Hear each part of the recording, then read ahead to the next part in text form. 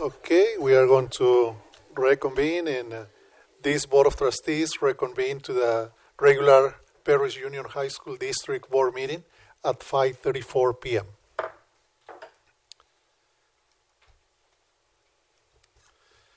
And uh, we are going to do the invocation, but before doing the invocation, uh, I'm going to be doing the Pledge of Allegiance. If everybody please stand. Place your right hand over your heart. Let's begin. I pledge allegiance to the flag of the United States of America and to the republic for which it stands, one nation, under God, indivisible, with liberty and justice for all.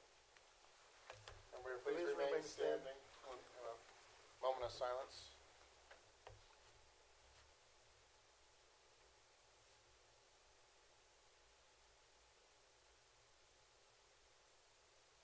Thank you.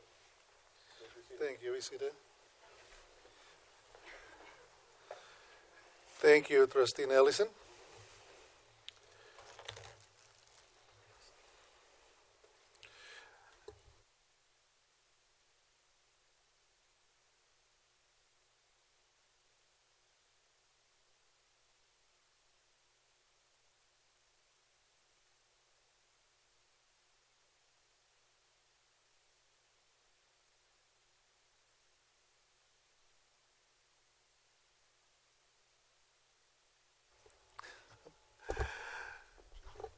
Okay. We are going to take a recess into the California Military Institute meeting at 5:36 p.m.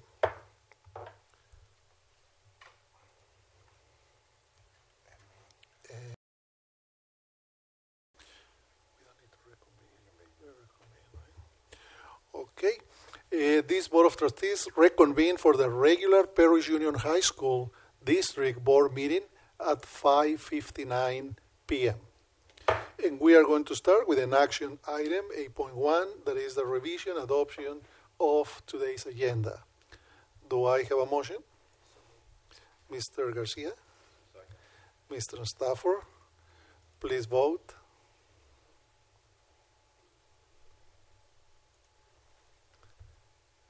And the agenda for this meeting has been approved 4 0. Information item 9.1 report out of closed session. No report out of closed session this evening. Thank you, Mr. Superintendent. Uh, district update by the superintendent is our next item. Thank you, Dr. Rouse. Um, I just wanted to share that our Perris Union High School District was recognized by the United Way, the GEMS program, which is Girls in Engineering, Math, and Science, um, for hosting a pro. We hosted the program at Pinacate this past summer with over 100 girls from all over different districts in the, in our area. Came to Pinacate and they, they taught them all different ways to get involved in math, engineering, science, because a lot of times the, the females are left they don't jump into that area, and it's trying to push girls into that. So it's really neat program, and it was good to see the girls there doing, doing different experiments and things like that. So that was that was really neat to see. The uh, Perris High Medical Assisting Program, run by Miss Boros over there, um, is a finalist for a Golden Bell Award from CSBA, and we'll have a site validation visit in in um, October. So we're excited about that, and hopefully we'll see him there up at the CSBA conference getting an award, getting one of the golden bells. Um, last Saturday on the 16th, I was able to attend the Boys and Girls Club of Menifee Gala, where it's a, a huge fundraiser they do to be able to sponsor kids into the Boys and Girls Club afternoon program. So it was a very nice event. Uh, they talked about a little bit. Perris, uh, we hosted the Ed Camp Perris on the September 9th a couple weeks ago on a Saturday. Joe and his team did a great job putting that together, doing what's called an unconference, where they, you show up and you figure out what you want to learn that day, and you put it on a board, and they, they have sessions on it.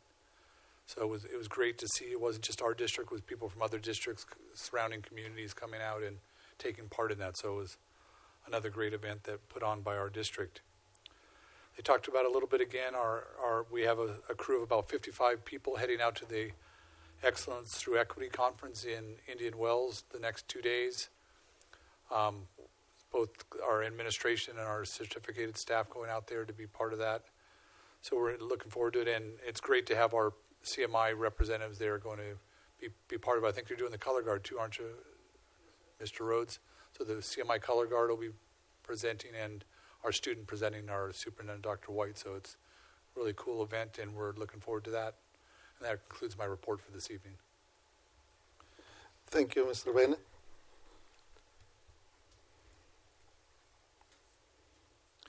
Okay, the next item is an oral report, 9.3, student representatives to the Board of Trustees. Trustee Nelissen. Excuse me. From Heritage High School, student representatives Elena Ruiz and Ashley Garcia.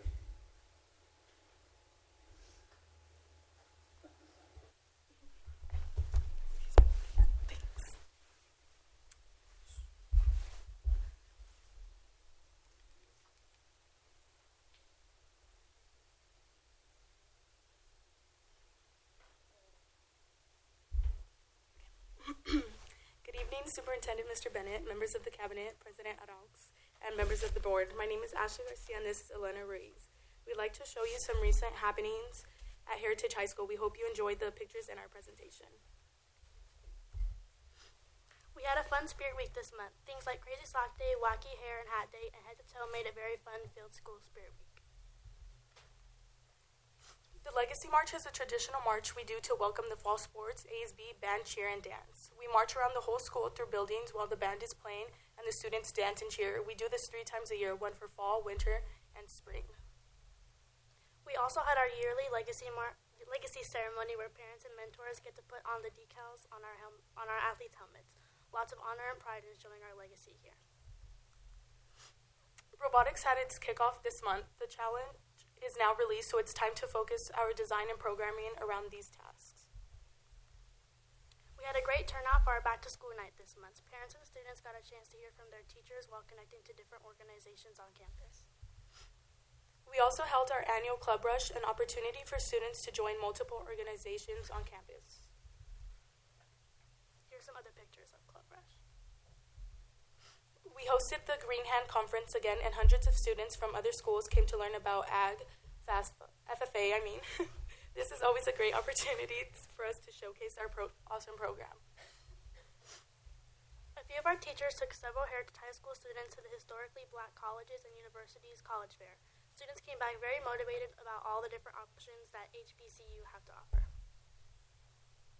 Peer Leaders United Students had student forums last week. The topics were school stigmas and other social climate climate concerns. Students were very open and shared some good feedback with our plus leaders. Football is 4 0 right now. Volleyball is 5 and 2 and finished second in Grand Terrace tournament. Girls tennis is 5 and 2 and beat Lakeside in league this week. Cross country showed well in first Sunbelt League meet this week. Girls golf is off to a good start at 4 and 2. Boys water polo, water polo doing great representing Heritage.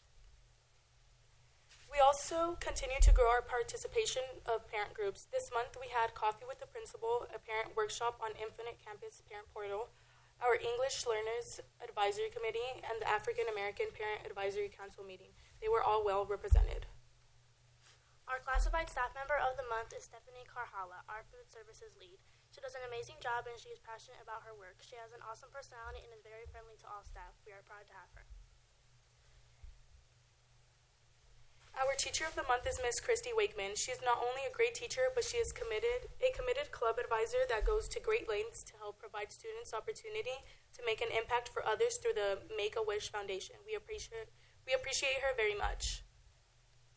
Dayra Leo is our student of the month. She is currently in the running for valedictorian and she has an amazing story of triumph and service. She is also the CAF champion for character and will be honored at dinner next week. That's it for this month. Thank you for your continued support of Heritage High School.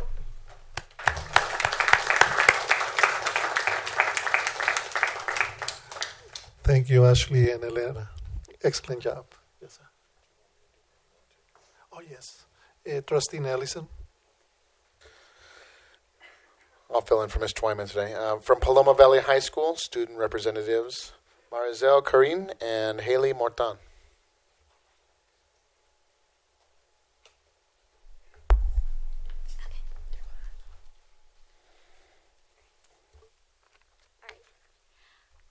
Good evening. We're representing Paloma Valley High School, and my name is Mara Zell. I'm the junior class president. And I'm Haley Morton, and I'm the senior class secretary. Clickers right here.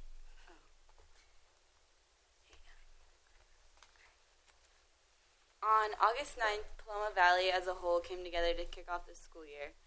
We annually have a first day pep rally as a step in connecting with the students. ASB and administration of PVHS organize this activity.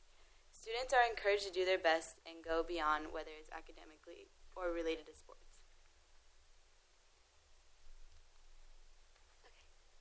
Our ASB leadership team met up over the summer and discussed our first Spirit Week that was called Hello Week. The Spirit Week was from August 14th to 18th, which was the first full week that we attended at school. Over these summer meetings, we decided to come up with a theme for the whole school year, which is The Magic Begins With Us.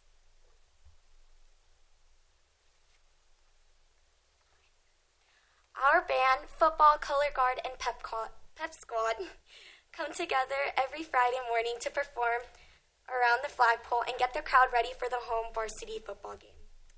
During first period, band walks around campus and plays a tra- traditional fight song and other songs they choose to play to represent our school. On September 8th, Paloma Valley High School was given the opportunity to host the big flag s- game ceremony. We had the flag for three years, and the flag is 100 yards long and 53 yards wide. We're honored to have had the flag, this being the third consecutive year. Our NJROTC, ASB, and more than 10 clubs and sports were participating under the flag and around it. Um, on from September 1st to September 3rd, 65 cadets earned their basic leadership training ribbon after spending the last 37 and a half hours learning, working, growing, and training. They spent two nights, Friday evening to Sunday afternoon, and concluded with a graduation ceremony. The combination of physical activities, tests, team building, exercises, and basic cadet knowledge um, was shown in this activity. They camped out in the gym, and family and friends were welcome to come and attend the ceremony and root on their kids. Um, we had Club Rush on August 29th to 31st, and our commissioner of clubs, um, Miley Kamalaii, said that it was a it was successful, and we were able to get a lot of students to interact with clubs more often. We have more than 25 clubs on campus, including Campus Revolution, Key Club, Friday Night Live, Interact Club, Link Crew, and Black Student Union. Upcoming events. So we have homecoming, and ho- homecoming is the week of October 16th to 21st, and our ASB team is working on it to make it an unforgettable experience. The day of the dance is on October 21st, and the day of the pep rally is on the 20th. Um, another upcoming event is Link Crew is in the middle of goal setting and working on helping the freshmen to gain realistic and achievement goals. In October, the same week as homecoming, they have a competition week where the freshman class will play PVHS trivia games, class banner competition, and Pictionary. The freshmen who receive the most points will win a trip to Universal Studios. And last but not least, um, our pink out game is against Lakeside on October 13th.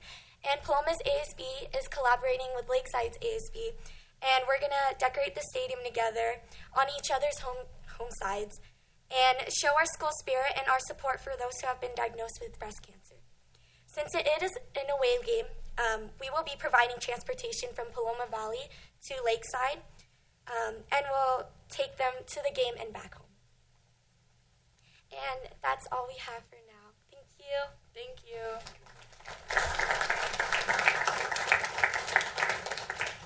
Thank you. Excellent job. Uh, Trustee Garcia. Yes, I'd like to introduce Perris High School student representatives Briseida Cardenas and Victoria Nuno.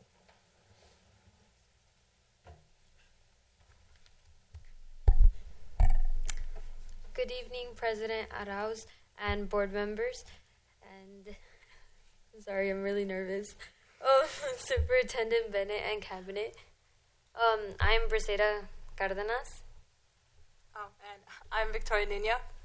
And we will be your school board representatives for Perris High School. Now that Melissa has graduated, I will be taking her place and hopefully informing you guys of the unique events that are taking place on our campus. Um, the first event was on July 25th, where most students actually got to meet our new principal, Mr. Santos. He was surrounded by all our students in a room that didn't even know him, and it was pretty cool because we gave our input as to what we expect from him and what he expects from us. So that was really cool to get in touch with our principal. And on August 9th was our first day of high school. Well, like our first day back. Yay.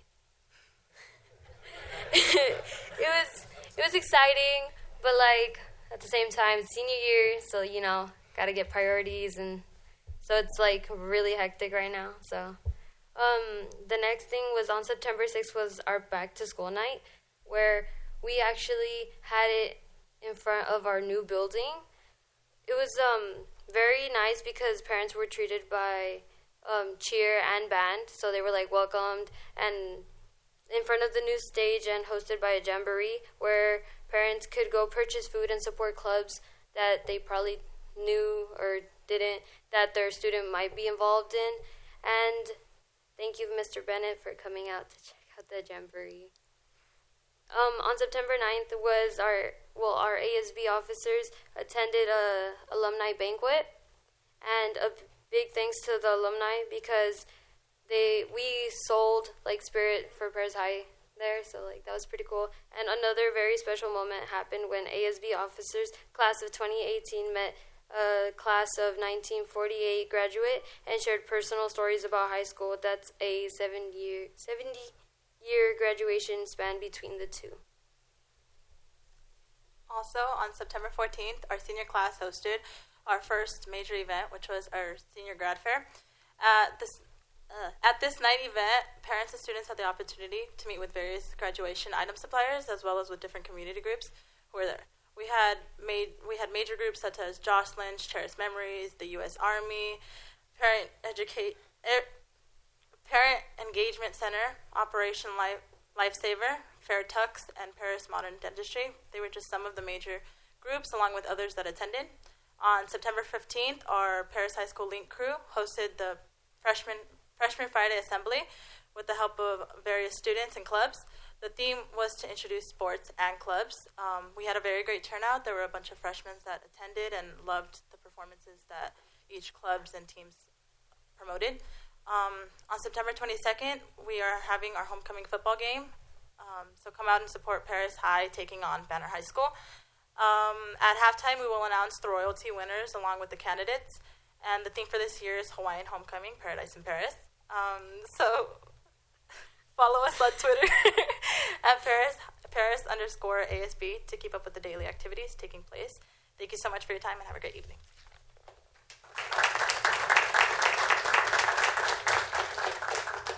Thank you, Briseida and Victoria.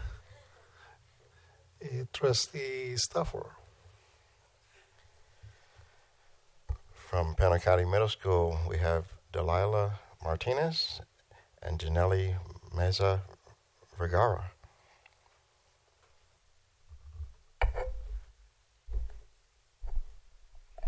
Good evening, President Dr. Rose, school board members, Mr. Bennett, and members of the cabinet. I am Janelle Meza, Pinacate's ASB president, and with me today is Delilah Martinez, the Pinacate ASB 7th grade representative.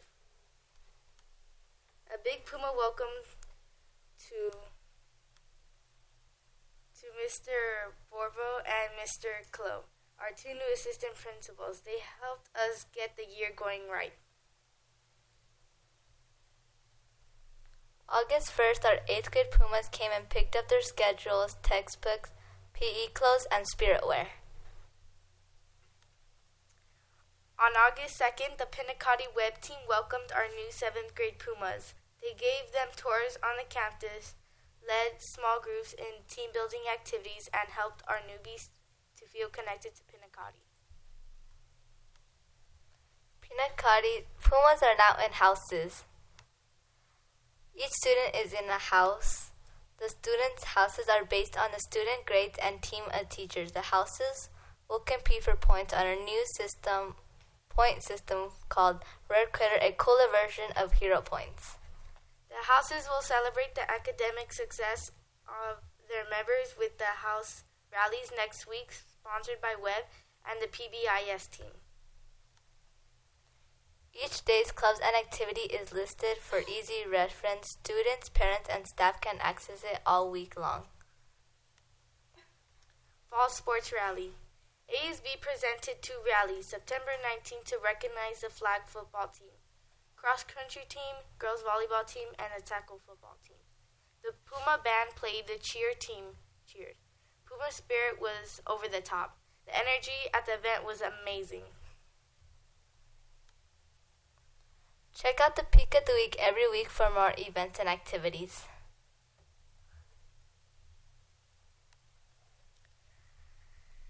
We would like to leave you with this thought.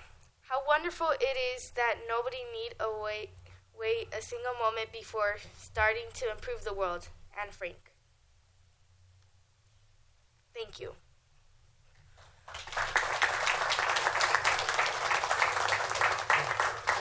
Thank you, Del- Delilah and Janelli. And now from Perris Lake High School, let's welcome our students reps, Sara Mejia, Wendy Alvarez, Caleb Cook, Adam Garcia, and Arlene Gonzalez.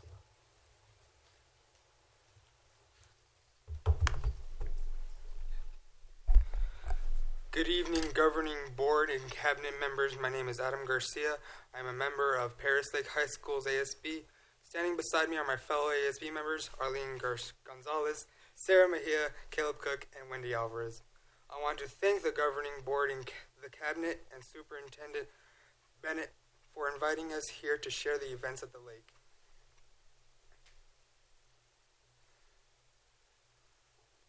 August 9th, our first day back to school, was really busy with so many new and returning students at- attending the lake. There were up to 42 students in each classroom. In each classroom, but we all uh, but we all positively managed to keep it happen, to keep it happen, and uh, focus on learning many things to both the students and staff for being positive and cooperative. Had an amazing outcome for our open house event. There were numerous parents and families, guardians who came to see how their students were have been progressing. We also had the district nutritionist nutritionist share important information with parents regarding the school meals.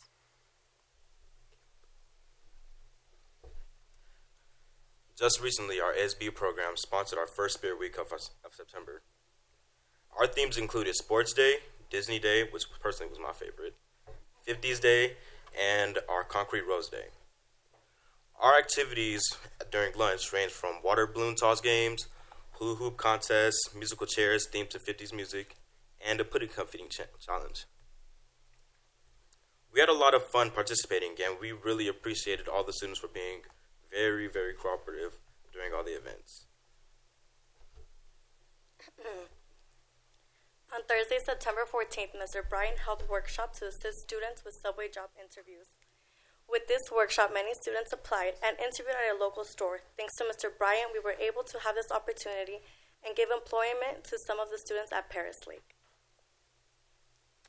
Last week, we addressed Suicide Prevention Week. By showing support to our fellow peers and helping each other in any way possible, by being such a small school, thankfully, we are able to communicate with one another and allow our students to get the proper support they need in order to help them with any issues or problems they may be going through.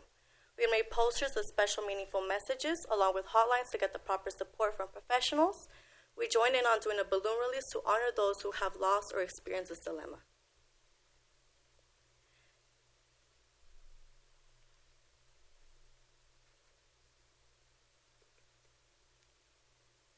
The field trip was the FNL Youth Summit, which was held at the Anaheim Hilton Convention Center. We had a great time. We attended different workshops on a variety of topics, such as drug prevention, mental illness, suicide prevention, bullying, and developing leadership. We had a fun time riding in the district van and ate some good food. Thank you for the opportunity to share a few moments of youth from Perris Lake.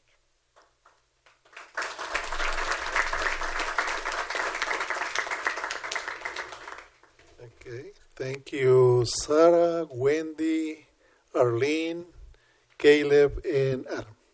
Excellent job. Thank you. Okay. So we are going to go to our next uh, item, information item 9.1. P- before going to the 9.1, we are going to give the opportunity to the students if you desire to leave this is your opportunity. You can uh, leave right now. You can stay here. You are welcome to stay but you can you can go home do your homework.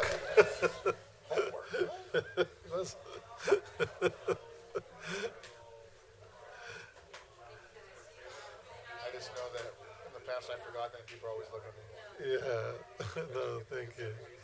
Yeah,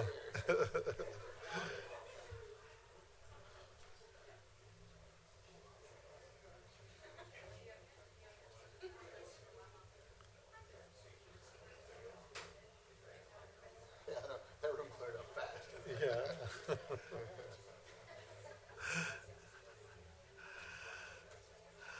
Okay, we are going to continue with our with our board meeting. In uh, item 9.4, PSEA President Ms. Vicky Mueller.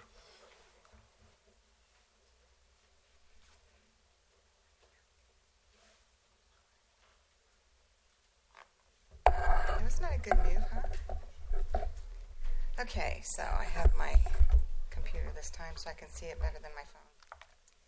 Good evening, Dr. Rowe, uh, Cabinet, or board members, Doc- uh, Superintendent Bennett. I don't know why I'm nervous tonight. I've done this how many times now? Cabinet members, thank you again for allowing me to have this time to speak. First off, I want to say how proud I am to be president of PSEA. Along with myself and my second VP, Kim Freeberg, we worked very hard with our site representatives and the district to make sure that we reach out to all incoming teachers to have them become members of PSEA. As a result, I was told that PSEA has the lowest number of non members in our CTA district. Let me just put it this way it's single digits, under 10. So that's pretty impressive when you think about it because there are some districts that have, you know, up to 50 to 60 um, teachers that are not members of their their local. So I just want to say thank you because I don't think we would have been able to do that without having the new teacher day, um, having the packets that we put together, and I just want to say thank you because without you, this is a group effort, you know, to do this. Um, PSC leadership has asked that I say also how happy we are to have Mr. Skorpanich with us and that he is a breath of fresh air. We would also like to say thank you to the district, to Maryland, for including us in the administrator mission and vision training that we were invited to, and thank you. Um, it's been a busy six weeks. PSEA has hosted two Friday luncheons for members at Heritage High School and Perris High School. There's been a breakfast at Paloma and a dessert luncheon at, at Options, Perris Lake. Um, at each of those events, we put up a piece, two pieces of poster paper. And we have what's rad, what's not so rad. Um, one site we had pluses and deltas. Um, we had needs and wants. So, what we're doing every time we do that is we're compiling that data. And we're encouraging the members then to take that to their site reps or their SRCs. And then some of it is PRC related. So we're going to be taking that then to PRC. But what came out in all of those, there was a central thread, and that was what a good start to the school year it was. They felt that it was a very calm, a very well rolled out school year. And I, I attribute that to you, Mr. Bennett, that everyone was very well prepared. And so that was the one thing that came out. Are there some issues? Yeah, we'll talk. Um, but the positives were far greater than the negatives. So I think you need to hear that too. Um, PSEA held a training at the CTA office in San Bernardino for our new site representatives. And we focused on the grievance process, making sure that they're trained and understand how to write them. We're going to be attending a training, uh, CTA training in Rancho Mirage at the Omni Rancho Las Palmas Resort and Spa at the end of September. So somebody was saying, "Oh, wait to see where we're going." I'm like, "Yeah, we go to good places too." Um, but I just want to mention some of the sessions that we're going to be going to. One is um, centered on generation student uh, generation student loan debt, uh, school to prison pipeline, pledging allegiance and free speech, LCFF and LCAP. And that's just a few. There's there's several more of that. Um, I'm personally attending several of these, so um, I hope to come back with some information that we can share. Um, so we have, I've got been given the dates for name of it just went out of my head. The one in February, the training that we sent teachers to last year with the district. I'll come up with it. Yeah, that training. Um, uh, I'll come up with it. I'll say it. Huh? No, no. This is the one where um, we partnered with the district. Good Teaching Conference. Yeah, I already have the dates for the Good Teaching Conference. Good, good um, sessions also that they're going to have there. Several on classroom management, um, how the new, how to approach new things that are going on in the classrooms. So anyway, um, we'll talk. Um, I know we partnered last year to do that. Um, our next luncheon will be at Perris Lake and Ed Options um, and at Pinacate in October. Um, there's been some talks about enrollment and how it's changing. It seemed to be a moving target. Um, declining enrollment here, increasing enrollment there. There's a lot of, you know, nervous people out there, and so um, we're just trying to keep keep everyone calm. All right. Um, so that's it for my presentation today. I hope you enjoyed it. So thank you.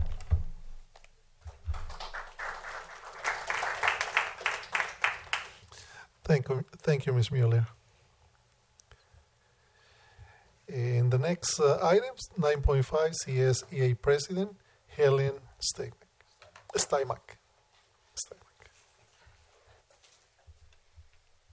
Good evening, President Dr. Araux, board members, Superintendent Bennett, Cabinet, and my fellow classified members, and everyone else here this evening.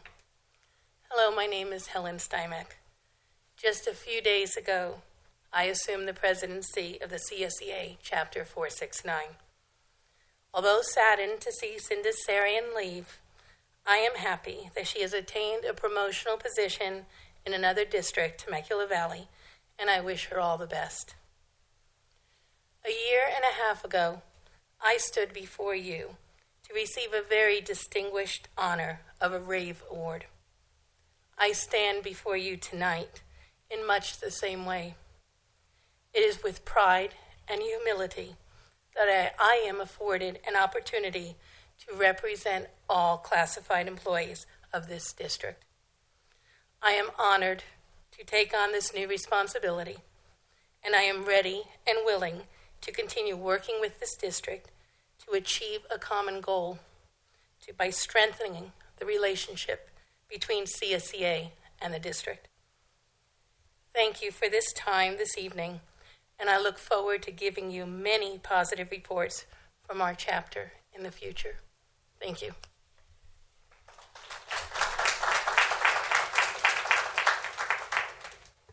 Thank you, Ms. Steinmack. Uh, the next item, 10.1, invitation to address the Board of Trustees on agendized and non-agendized items. No takers today. So we go to the next one. That is an action item. That is our consent calendar. Do I have a motion? Mr. Nelissen? Mr. Stafford? Please vote.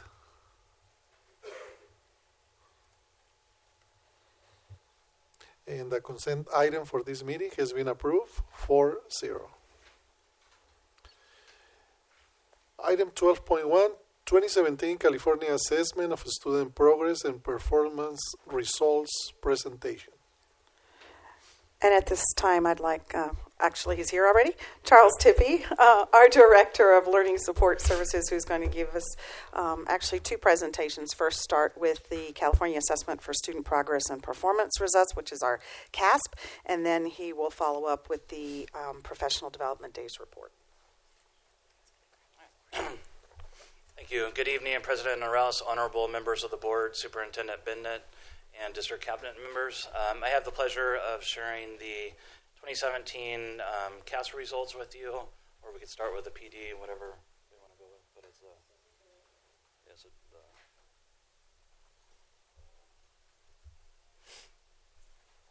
the so I have the pleasure of sharing the 2017 CASP results with you, and I'll also go over how those test scores will go into the um, new LCAP accountability system. So we'll kind of look at, at both systems. We are shifting to a new new way of measuring school performance and district performance.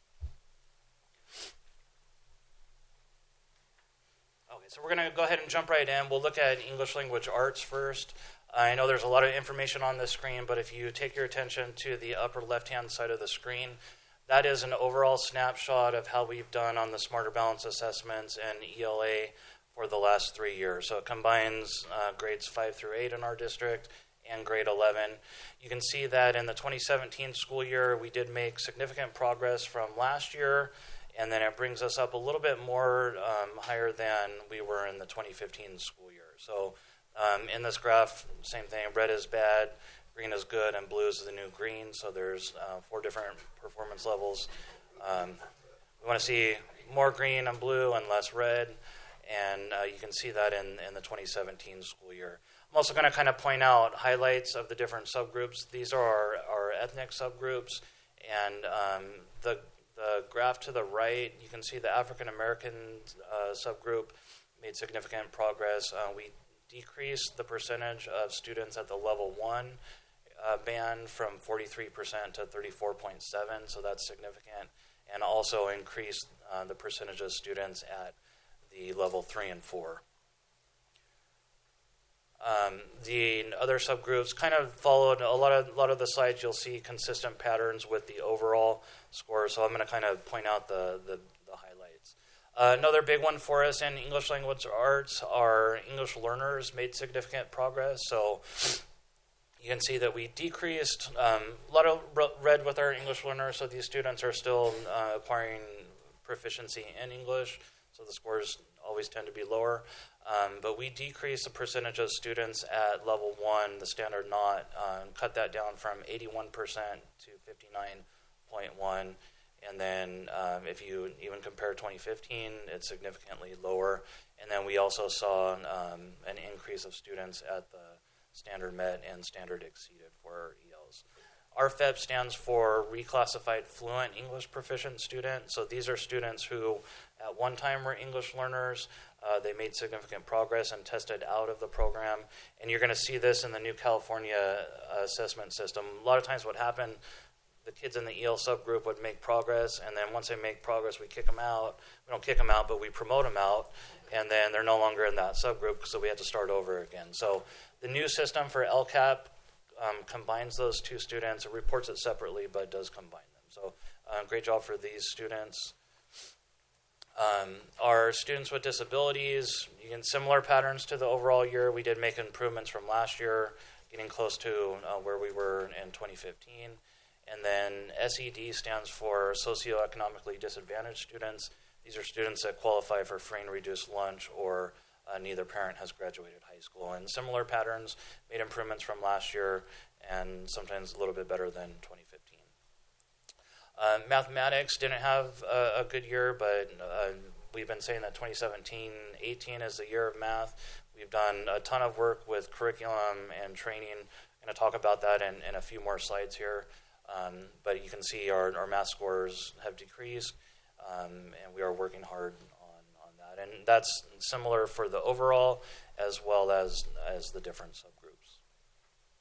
Uh, our EL students, we did decrease the number of students at the level one band for EL, so that that's a good good thing. Um, and our RFEP students didn't fare as well. For students with disabilities and SED, pretty similar to the overall group, we haven't seen much progress um, and declined for the SED. So I have shifts in, in California accountability. Some of those slides are pretty depressing. Um, and what I like about the new shift is it focuses on two things. So it focuses on status. That's getting kids where they need to be. So getting kids in the level three and four. We want them performing. We want them meeting the standards. But it also looks at change. So, and it's a combination of the two. You, you have to have both. Um, there's a very fancy grid that puts it in into that, and I'm going to show you some examples and kind of explain how that works. But once again, we're looking at status and change. So this is all based on the level three threshold. So one of the nice things about the Smarter Balance assessment is it's a vertical assessment, so you can compare test scores and measure progress for students going all the way back from third grade through 11th grade. So you're going to notice over to the left the skilled score um, range for third grade 2114 to 2623, and then it increases all the way down to 11th grade. What this California system does now is it takes the lowest possible score for a standard met or the, the basically college readiness, and then it measures the distance from that point. So we'll look at a couple examples and, and see how that looks. So if you look at school A here, made up school, um, elementary school A in fifth grade, you're going to see the level three threshold score is 2502. That's the lowest score you can get to be a level three of standard met. Um, in 2017, school A got a 25-22, and that's a distance of 20 points from that level three threshold. Elementary school B, you'll see the same threshold score, 2502. It's consistent acro- across the grade levels for all students. They scored a 2500, and that's a negative two. So they were negative two points away from that threshold mark. Uh, middle school, sixth grade, it's a higher score because as the kids move through the grade levels, they have to score higher. What the threshold was 2572. That school got a 2595, and they were 23 positive points away from that threshold. The change, a little bit easier to, to kind of comprehend. This compares the average scaled score of the school, the grade level, or the subgroup, compares the current score with the previous score. So in the example here, elementary school A, uh, the 2015-16 score was 2540, 16-17 score was 2520, and that's a negative change of minus 20. School B, 2580 to 2600, that's a positive 20, and so on and so forth. So when we calculate the dashboard designation, you have to look at both the status and the change. So in this hypothetical example, school A had a positive status of 47 so, as a school, the average scale score was 47 points above that threshold level. However, they had a change of negative 20, and that's going to put them in the yellow category. Uh, we do another example, school B. They were a negative 2 above that threshold, so that puts them in medium.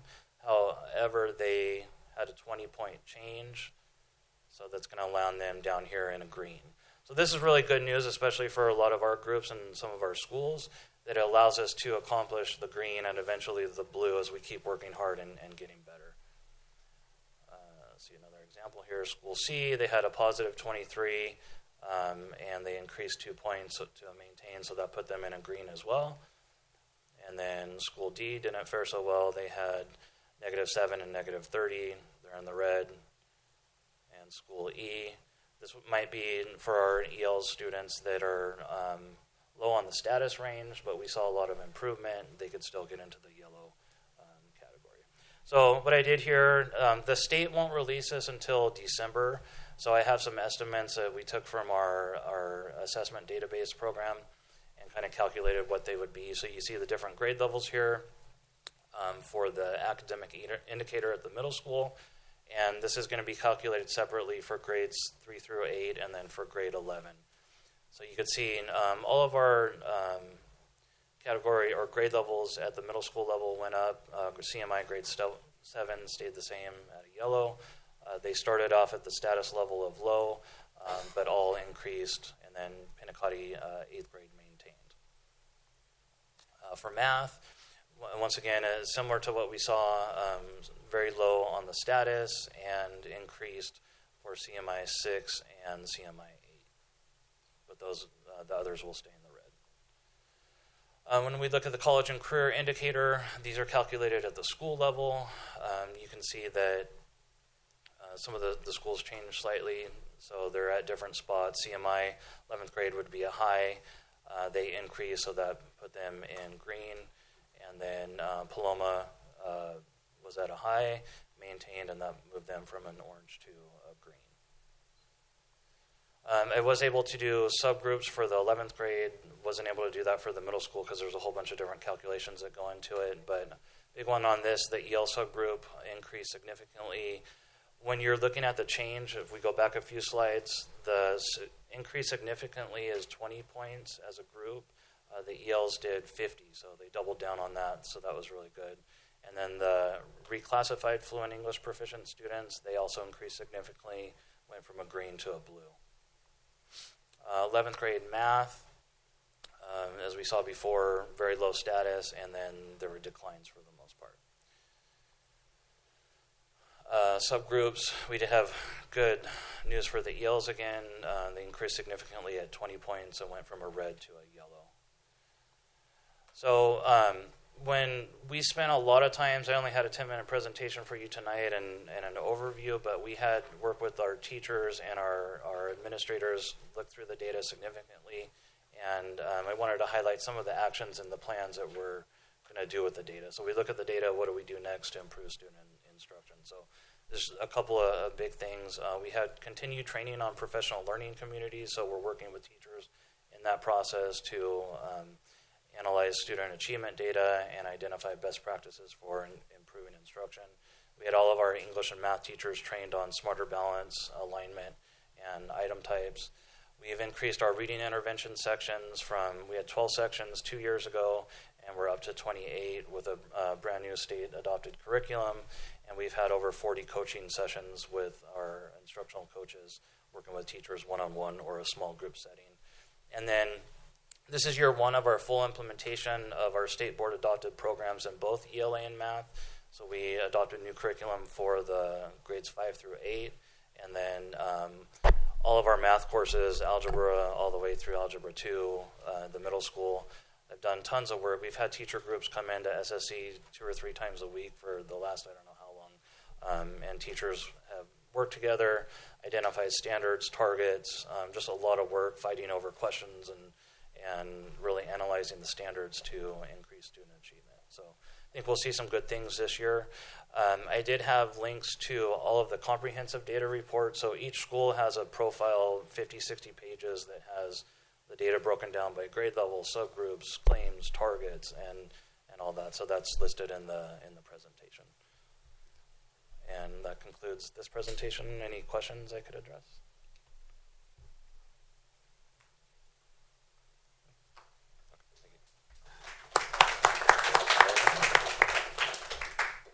Thank you, Mr. Tippy. Thank you.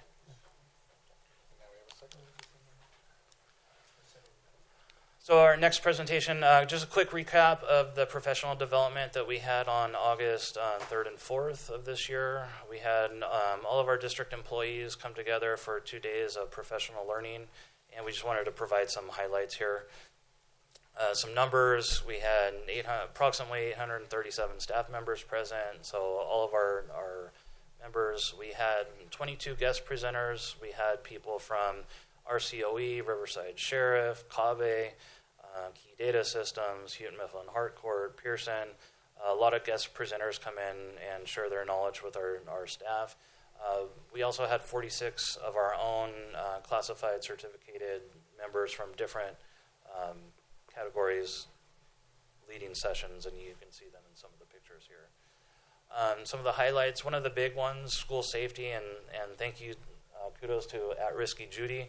Um, I ignored some of her phone calls, but we were on the phone a lot um, prior to PD. She did a great job of bringing in, um, she worked with the sheriff and, and got or, groups in to work with our campus supervisors. We had sessions for all staff on human trafficking, emergency response kits, science safety, and Keenan Um, just a really and a lot of great feedback from staff.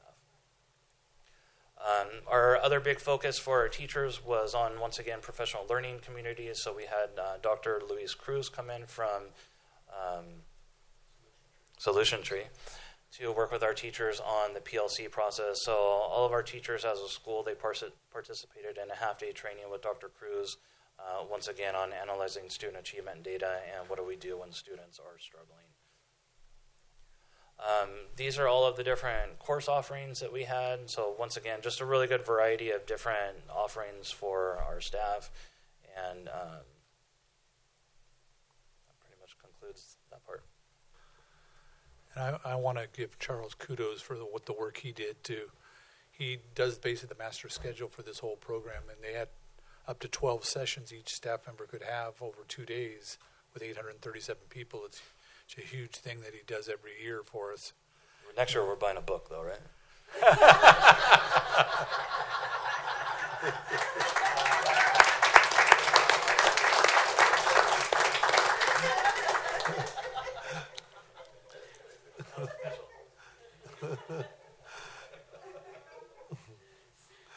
Thank you, Mr. Tippy. Okay. Well, it's the same. Uh, uh, the next item is an information item. 13.1 is the discipline report for the month of August. Uh, 14.1 is an action item. Uh, resolution 61718, trustee compensation for missed meetings. So, Mr. Garcia, we are going to ask him to leave for a few minutes.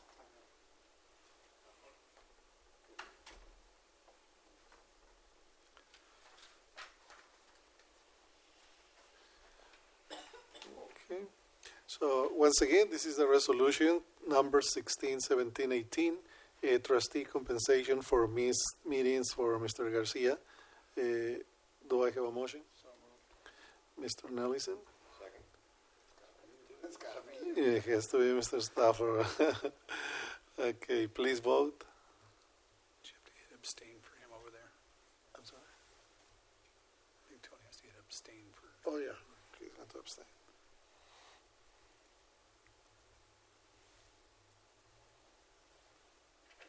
Okay, and this uh, item has been approved. Three votes in favor and one abstention.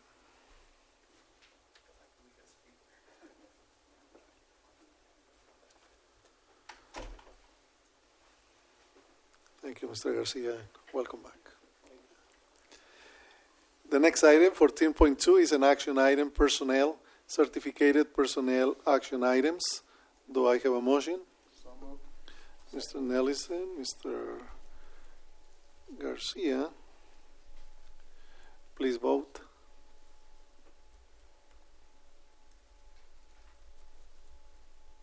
Fourteen point two has been approved, four zero. Fourteen point three is an action item for classified personnel action items. Mr. Garcia and Mr. Stafford, second. Please vote.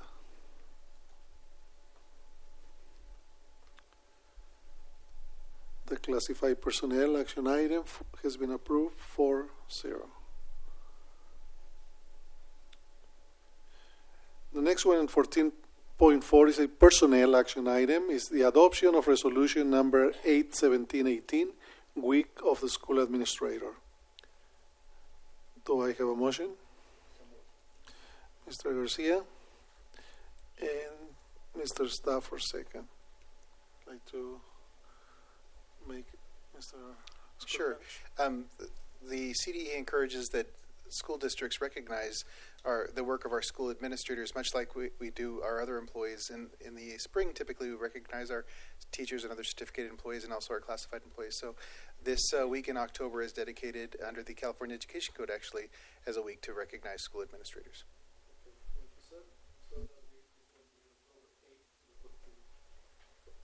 I'm sorry. Uh, this uh, administrator week of the school administrator this year is going to be October 8th to the 14th. So we have we have the two motions. Please vote.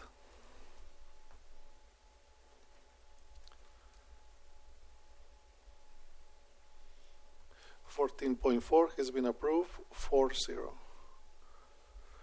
14.5 is also an action item personnel declaration of need for fully qualified educators for the 17 18 school year. Do I have a motion? Mr. Nelissen, trust, trustee Stafford. Any questions or comments? No? Okay, please vote.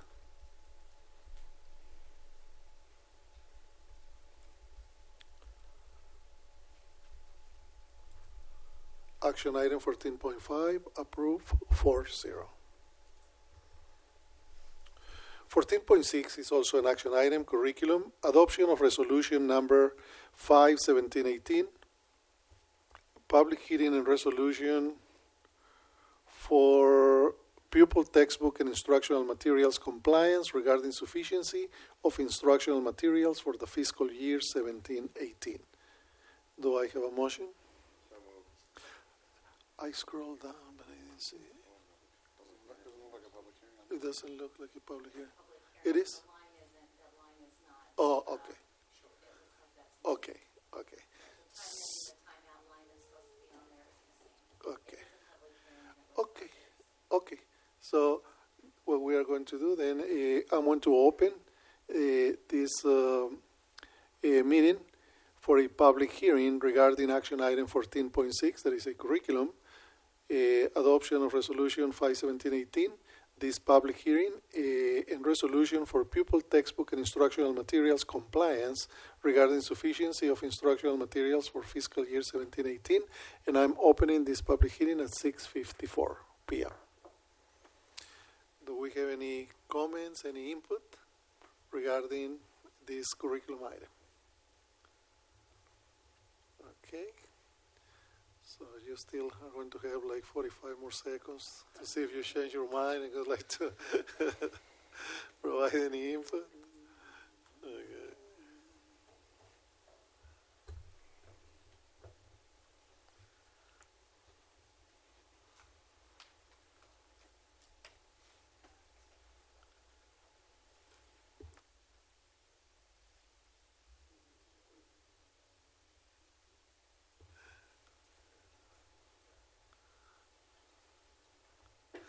Okay. Uh, this public hearing is closed at 6:55 p.m. Now we are going to come back to a regular board meeting, and we, do I have a motion to approve this uh, action item? Trustee Nelissen, uh, Trustee Stafford, please vote.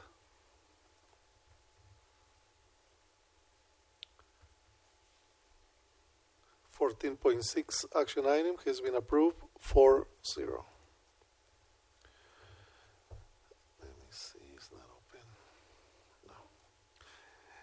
The next action item is fourteen point seven, building and grounds. Approval of resolution number seven, seventeen eighteen, and school facilities funding and mitigation agreement, Perris Union High School District and Metz and A, LP for Villa Verona Apartment Community. Do I have a motion? Trustee Nelissen, second. Trustee Stafford, please vote. I, I can give you I some didn't see it. information if, if you'd like. Um, this is a mitigation agreement. Um, I, I believe we've briefed you about this um, in the past because it's been a, a very long process, but we, we did finally reach a, an agreement with the developer at the, the property at Metz and A Street. Um, that's a 360 unit apartment um, complex, you know, just up the street from CMI. And so uh, we were very adamant that um, putting in those apartments and increasing the traffic um, on A Street um, was an impact um, to to A Street and to the CMI campus. Um, the city conditioned the developer to widen A Street, um, and we're very grateful for our partnership and working relationship with the city because they worked with us in, in also conditioning the developer to work with the school district to mitigate their impacts to our site. Um, by widening A Street, they're going to take um, approximately 27 feet from the frontage um, of CMI, and you could see how that would significantly impact um, you know, the site. They've got parking up in the front there. So this uh, mitigation agreement um, provides um, us $800,000, uh, which is more than the developer fees we would have collected. It uh, mitigates their impact.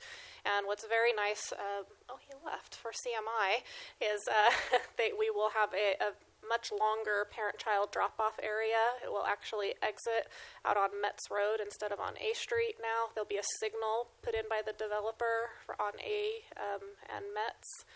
And um, it will redo and relocate, um, redo both parking lots, relocate um, another parking lot. So it's great news um, for CMI. And um, it's been a long, long process. Um, we were at two city council meetings. Granted, that I, we, I've been calling him the closer. Uh, so uh, anyway, we're, we're glad to finally have this this agreement. Excellent. Thank you, Ms. Rains. Do we have any questions, any comments? Just um, thank you for putting in that effort with uh, the city council that uh, Grant and you and Candace that you guys went and did that. And we, we're still going to deal with that choke point down at, uh, I guess, Fourth Street. At, up, yeah, at some point, but we're almost there. So uh, it's been a great job you're doing with that. So thank you very much. Yeah, the city did indicate that as other developers come in, they would condition them to, you know, kind of finish off um, A Street. So it's always a careful balance with development. You know, we, we want it to come in, but um, we don't want to create problems um, on the streets or at our schools. So And it's going to be a little tougher up at the other end of A Street towards um, towards Fourth because elementary, there's houses already there. So it's some of it may be some eminent domain stuff that they may have to do with, unless they have an easement onto that property also. Yeah. And no plans for across the street from the apartment building. Not as of yet. Nothing. The, they don't have anything in the um, planning commission for the city t- for developing that property at this time. Okay. Okay, thank you. Any other comments or questions? Trustee Nelson, Trustee Garcia? Okay, so please vote.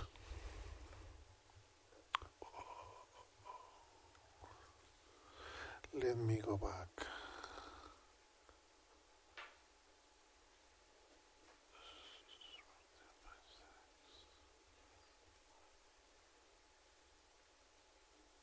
Okay, now we are there at 14.7, right? Okay. Action item 14.7 has been approved 4 0. Information item 15.1 Building and Grounds plan to file Career Technical Education Facilities Program application for projects at Perris High School.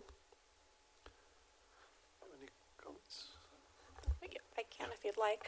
Um, yeah, new funding was just released. This is round three of CTE facilities money. The last round was in 2009, I think, if I'm not mistaken. That's what we applied for and built the Heritage High School Agricultural Research Center with. Uh, and so we would like to um, apply most likely for two projects at Perris High School um, in their agricultural uh, facilities as well um, to uh, offset some of the costs for the PACE building um, that would allow us to then use those funds as matching funds for a second project and get uh, started faster on completing uh, the master plan at Perris High School. Uh, there is um, word that there will be a fourth round of funding um, next year, and uh, hopefully, if um, our plans progress as, as we're hoping, we're thinking, you know, they might in, in facilities planning, like we talked in our July or your July study study session. Um, it would allow us to apply for funds um, for the visual and performing arts um, at the front of, of Perris High School, um, just in keeping with what we, we've done for the last many years, decades, um, apply for every funding source that's available and out there. So for the CTE funding, Ms. Rains, are these matching funds? You do have matching Oh, funds. yes, And so we're fortunate in this case Yeah, because the, the building is currently under construction, and so we would then have those Mm-hmm. matching funds. And so if we were to get the first grant I spoke of, we could then reallocate some of those funds to then be the matching funds, you know, for the sep- second application. So that's that's how we leverage funds Mm-hmm. um, and make the most of what we can get. All right, thank you. Any comments or questions? Okay, so this was an information item. We go to the next uh, item, also is information, business, a revolving cash report for the month of August 2017. Uh, information item 15.3 Board Policies, Philosophy, Goals, Objectives, and Comprehensive Plans, Series 000. 15.4 Board Policies, Community Relations, Series at 1000. Uh, board policies 15 I, I, item 15.5 is an information item. Board policies administration series 2000 15.6 information board policies business and non-instructional operations. 15.7 board policies board bylaws do we have any comments on uh, Mr. Yes, Stafford? um, on the 9000 series, the board policies, the electronics, uh, Yes. part of that. Um, with the law changing, and now we're going to be implementing that. Uh, that start date is it when the first of the year, or when does that start? Or is it implemented already? yeah. But anyway, um, it requires that uh, we, we we personally we use our own personal devices at, at this point. Um, after this law is in effect and in, in current, uh, I believe the district should provide us with electronic communication devices. I'm not willing to use my cell phone or commingle my computer or any of my devices with the school districts. Uh, so I would request that we have a discussion about that and uh, come up with some ideas. Joe, I think your technology, so you would be able to advise us on how we're going to proceed. And we're gonna, we're gonna get some direction from legal counsel on this to make sure that we're, we're, Mm-hmm. what the intent of the law is and then how we have to proceed from here. So we'll get that information to you before next month when it comes up for a vote. Okay, very good. Yeah. I- I just want to add that I join uh, Mr. Trustee Stafford on that uh, on that request. Yeah, thank you. Okay, any other comment or input, uh, Trustee Garcia? Well, I just want to make sure they can't confiscate our phones and, and that'd be it, you know? So if we're, if we're doing school business or district business, excuse right. me, I'm, I'm in agreement with uh, trustee Stafford and yourself. Okay, thank you, sir. Trustee Nelson. I fourth of that motion, so so I'm curious to hear what you guys had to find out next month. Thank you, sir. So we are going to move then to the next uh, item. That is a action item, 16.1, and is uh, to go to closed session if necessary. Not necessary, President Araux. Thank you, Mr. Superintendent. And, uh, well, there was no need to go to closed session. Uh, action item 18.1 is the discipline, reinstatement of student discipline matters. Uh, do I have a motion? Trustee Nelson? Trustee Garcia? Do you have any comments or input on this item? No? Okay. Please vote.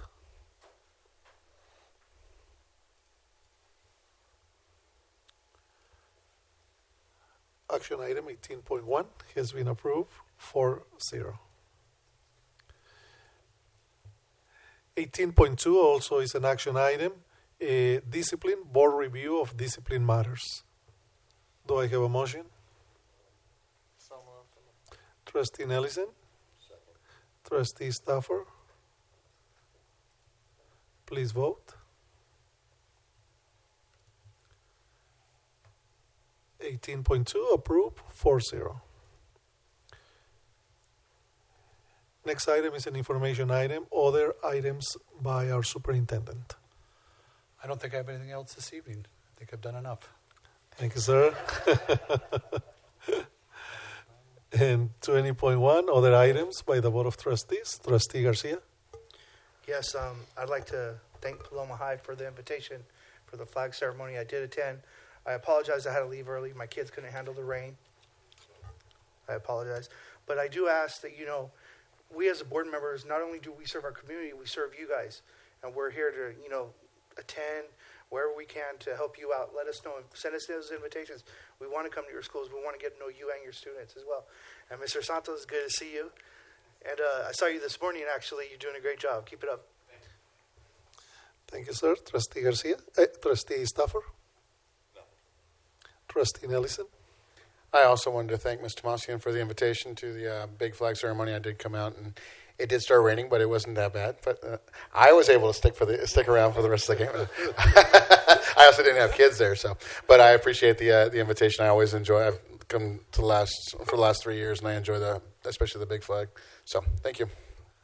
Okay, I just want to say thank you also to all the teachers, administrators, and cabinet for the effort that was done last year to get the results on the CAASPP in ELA and the, the increases that, that we had.